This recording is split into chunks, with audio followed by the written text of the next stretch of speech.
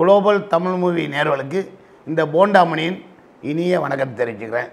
நல்ல சந்தோஷமாக இருக்குது இந்த சேனல் மூலம் உங்களோட பேசுகிறது பெருமையாக இருக்குது நான் வந்து இலங்கையிலேருந்து அடிபட்டு அகதியாக தமிழ்நாட்டுக்கு வந்து சேலம் எடப்பாடி கேம்பில் உட்காந்தவன் முதல் முதல் இயக்குனர் பாக்கியராஜ் மூலமாக அஹ், போனு போனு படத்தில் அறிமுகப்படுத்தப்பட்டு அப்புறம் சென்னைக்கு வந்து சென்னையில் தென்றல் வரும் தெருன்ற ஒரு படம் மு. மேத்தா சார்.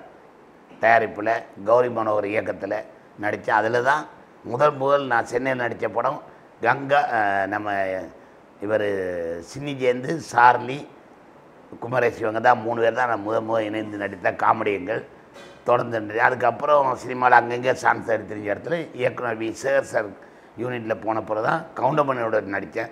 அங்கே தான் கவுண்டமணி செந்திலண்ணன் இப்படி எல்லா நகைச்சுவை நடிகரும் நடித்தாலும் எல்லா ஹீரோக்களையும் நடிச்சிருக்கேன் எல்லா ஹீரோனையும் நடிச்சிருக்கேன். ஆனால் எனக்கு பெரிய லெவலில் பேர் வாங்கி கொடுத்தது வடிவேல் கூட்டணி தான். வடிவேல் சார் கூட சேர்ந்ததுக்கு பிறகு தான் போண்டாமணின்ற ஒரு நடிகை இருக்கிறாங்கிறது உலகம் பூராவே தெரிய வந்தது.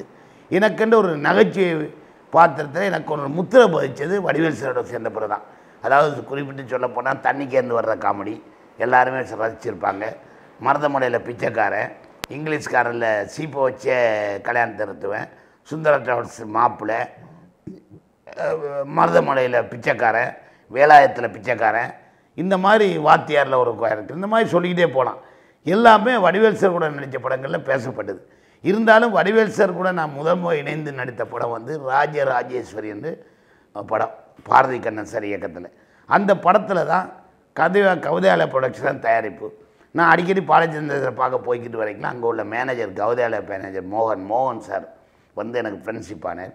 அவருடைய ஏற்பாட்டில் பா கௌரி நம்ம பாரதி கண்ணன் சார் வடிவேல் சார்ட்ட எடுத்து சொல்லி முதல் முதல் ஒரு பத்து சீன் வடிவேல் சார் கூட. அவர் ஒரு டுபாக்கர் எம்எல்ஏ நான் அவர் கூட அசிஸ்டண்ட்டு இன்னொரு அசிஸ்டண்ட்டு வெஞ்சமின் இருப்பார். வடிவேல் சார் முதல்ல அதை ஒத்து வரையில் ட்ராக் பண்ணுறது பிறகு ஒரு மாதிரி பேசி அவரோட மே- மேனேஜர் முருகேஷ் சொல்லி ஓகே ஆகி அந்த படத்தில் பத்து சீன் பண்ணியிருந்தேன் படம் வெளியானோன்னு பெரிய லெவலில் பேசப்பட்டது. நம்ம தேனி சேர்ந்த உடனே ஃபோன் பண்ணி வர சொல்லி வடிவேல் சார் கூட்டணி உனக்கு நல்லா இருக்கியா? பிடிச்சிக்க வடிவேலை. கவுண்டமணி சேர்ந்தமா இது ஒரு வித்தியாசமாக இருக்குது பிடிச்சிக்கன்னாரு. அதுக்கப்புறம் விசி கோனான் சார் நம்ம இயக்குனர் விசி கோனான் சார் ஃபோன் பண்ணி என்னை வர சொல்லி இது நல்லா இருக்குது இந்த கூட்டணியை பிடிச்சிக்க அப்படின்னு. பிறகு திருவள்ளுவர் கூடம் வி. சேர் சார் கூப்பிட்டு யோ வடிவேல் சார் கூட்டணி ரொம்ப நல்லா இருக்கியா? அவரை பிடிச்சிக்க. இப்படி எல்லாருமே வடிவேல் சார் நல்லா இருக்குது வடிவேல் சார் நல்லா இருக்குன்னு சொன்னாங்க.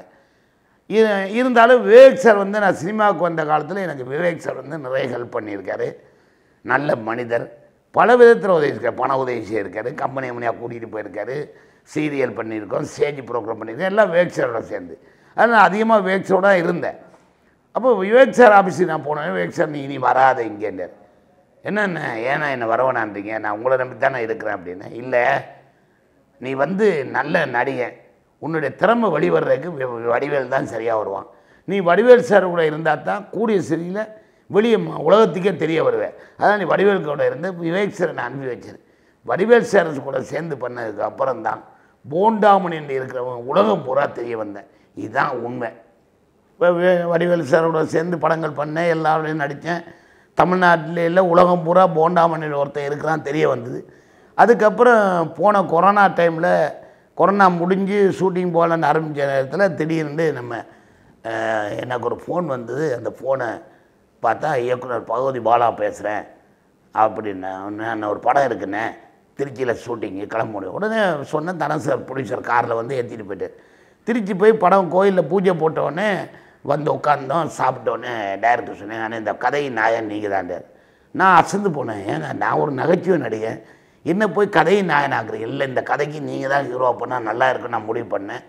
ஜோகி யோகி பாபு சாரை வச்சு பண்ணலான்னு முடிவு பண்ணோம். ப்ரொடியூசர் இல்லை போண்டாமணியே போதுமன்ட்டார் கதையை கல்யாணம் கதையை கேட்டால் காமெடியே இல்லை ஒரு சென்டிமெண்டான கேரக்டர் எனக்கு பிடிச்சிருந்தது.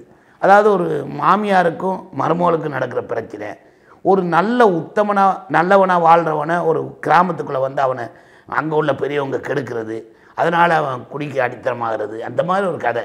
ஒரு விஓ ஆஃபீஸர் நேர்மையான ஒரு விஓ ஆஃபீஸர் ஒரு கிராமத்துக்கு வந்து இப்படியெல்லாம் கெட்டு போகிறான் அப்படின்னு சொல்லி அந்த படத்தை கதை சொன்ன கதை பிடிச்சி போச்சு. இருபது நாள் திருச்சியில் இரவு போகலாம் ஷூட்டிங் நடந்து படத்தை முடித்தோம் படம் போட்டு பார்த்தா நல்லா இருக்கணும். ஆர் சுந்தரா சாரை ஒரு கேரக்டர் பிச் பண்ணோம். அவர் இந்த கதையை கேட்டு போண்டாமணிக்காக நடிக்கிறேன்டார். பிறகு பயில்வான் ரங்கராஜன் நடித்தார் எனக்கு ஜோடியாக கும்பகோணம் சரமின்னு ஒரு பொண்ணு. அந்த படம் படம் முடிஞ்ச பிறகு பாடல்கள்லாம் பார்த்தா படம் பிரம்மாண்டம் வந்தது. சரி இதை எப்போ ரிலீஸ் பண்ணாங்களோ அப்படின்னு நான் நினச்சேன். திடீர்னு ஃபோன் பண்ணி ப்ரொடியூசரு மணி இந்த படம் வந்து அண்ணாத்தை படத்தோட தீபாவளி ரிலீஸ் பண்ணுறாரு எனக்கு தூக்கி போட்டீங்க இந்த என் படத்தை போய் ரஜினி சார் படத்தோட ரிலீஸ் பண்ணுறாங்களே இது சரிப்பட்டு வருமானு சொல்லி நான் ஃபீல் பண்ணேன் ப்ரொடியூசர்கிட்ட கேட்டேன் ஐயா அது நல்லா இருக்குமான்னு டைரக்டரையும் கேட்டேன். அப்போ டைரக்டரும் ப்ரொடியூசரும் சொன்னாங்க நாங்கள் முடிவு மணி. எங்களுக்கு நம்பிக்கை இருக்குது நீயே பயப்படுற மணி. ரஜினி சார் படத்தை ரிலீஸ் பண்ணுறோன்றார் அதுக்கு பிறகு நான் ஒரு தலையும் சொல்ல முடியாது. ஏன்டா ஒரு ப்ரொடியூசரும் ஒரு இயக்குனரும் தன்னம்பிக்கை. ப்ரொடியூசர் தனசேகர் சாரும் இயக்குனர் தனபாலா பா பகவதி பாலா சார் அவங்களோட தன்னம்பிக்கை. முடியும். போண்டாமணி நல்லா பண்ணியிருக்கான். போண்டாமணி படம் வந்து ஒரு நிச்சயமாக வெற்றி பெறும் நம்பிக்கையோடு ரிலீஸ் பண்ணுறாங்க அப்படியும் போது சரி நானும் ஒத்துக்கிட்டேன். எனக்கு என்னன்னு சொன்னால் சரி ரஜினி படம் ஃபுல்லாகி அதில் மிச்சம் வர்றவங்களா என் படத்தை பார்க்க மாட்டாங்களா? அவர் ஒரு ஆலமுறை அவருடைய வெளிதை பிடிச்சி நான் போகக்கூடாதான்னு நானும் ஒத்துக்கிட்டேன். இன்றைக்கி வந்து அது உலகம் பூரா பேசப்படுது. நிறைய பேர் பப்ளிசிட்டி பண்ணுறாங்க எனக்காக.